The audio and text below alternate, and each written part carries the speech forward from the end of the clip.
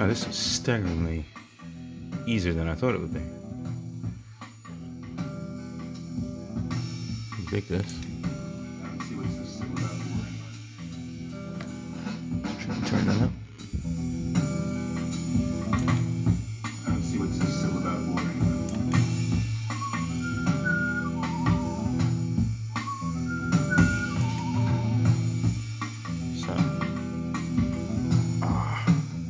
Think we can all agree there's no chance that YouTube's gonna bust me for that, but.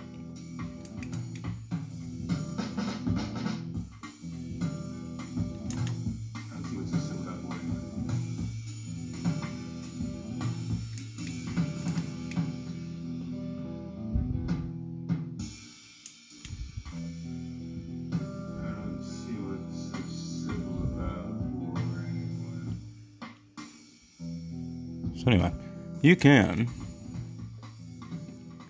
obviously tweak that. There's something called a one shot thing, and this is now driving a drummer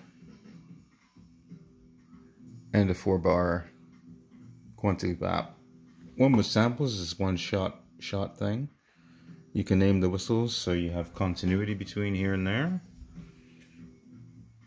I think this thing's pretty crazy, and you can always fiddle with stuff directly on screen or be more precise with it